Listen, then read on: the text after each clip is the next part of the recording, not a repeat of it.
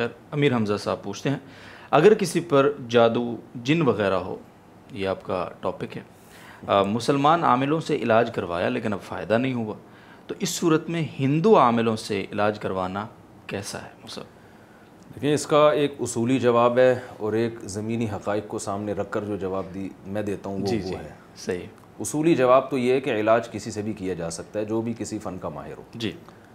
ہندو اگر وہ جادو کا علاج کرتا ہے اور شرکیہ کلمات استعمال نہیں کرتا اس کی اس کا آپ کو سو فیصد یقین ہے اور شرکیہ کلمات استعمال نہیں کرے گا یا کوئی ناجائز کلمات استعمال نہیں کرے گا تو اس سے علاج جائز ہے۔ ٹھیک ہے۔ یہ تو اصولی جواب ہے۔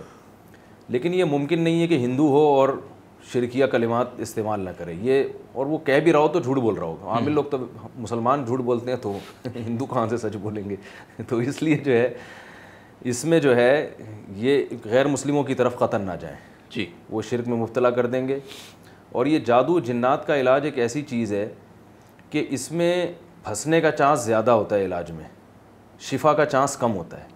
صحیح۔ قرآن مجید میں اللہ تعالیٰ کا ارشاد ہے کہ ون کان رجال من الانسی یعوذون برجال من الجنی فزادوہم رہقا کہ جنات نے یہ کہا کہ انسان چونکہ ہم سے پناہ مانگا کرتے تھے تو ہماری سرکشی بڑھ گئی۔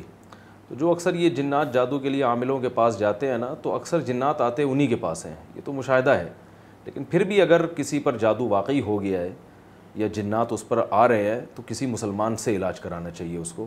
کسی غیر مسلم کی، بلکہ صرف مسلمان ہونا بھی کافی نہیں ہے، کسی صحیح العقیدہ مسلمان سے علاج کرانا چاہیے۔